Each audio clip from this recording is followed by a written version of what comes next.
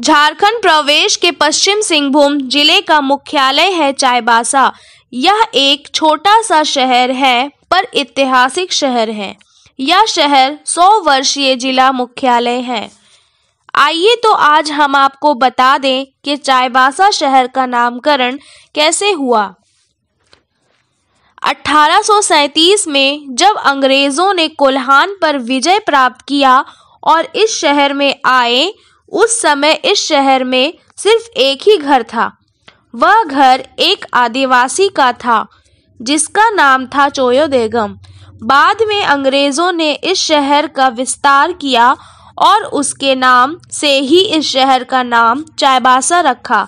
अंग्रेज़ों ने इस शहर को बसाया और इसका नामकरण भी किया। आप लोगों से रिक्वेस्ट है, झारखंड के सारे जगहों की जानकारी के लिए हमारे चैनल को सब्सक्राइब करें और नोटिफिकेशन के लिए बेल आइकॉन को दबाएँ। शुक्रिया।